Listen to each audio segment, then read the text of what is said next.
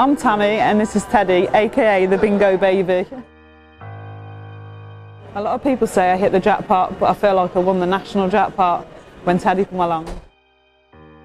On that night, I was in labour in the toilets and my sister called a full house and now I have a full house.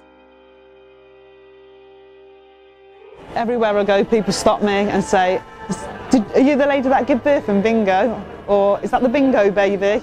Everywhere we go, somebody questions.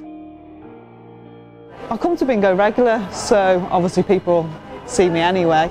But even random people I don't know in the street stop me. I come to bingo that night with my mum. On arrival, we met my sister Charlene and Alaska, my niece, and bingo was on and we was playing. After about an hour, an hour and a half, I started having contractions.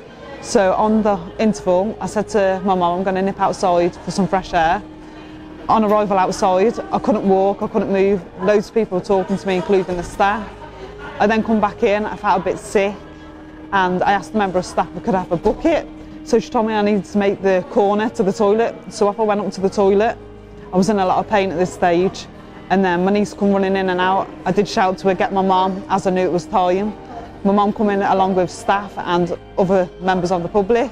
And then before I know it, the ambulance had come and I had to walk to the door because they couldn't get the stretcher through the main door. And as soon as I got into the ambulance, his, his head was there. And that was it. My bundle of joy come.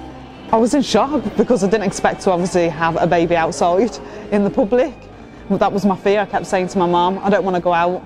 But obviously I did because I was told two, three days and he won't be here. But he did. I think he wanted just to have one last at bingo. I love a full house. I love having my children around me. I pick a night with my children then going out over any night. But yeah, he's added to it all the sleepless nights but I guess it's worth it.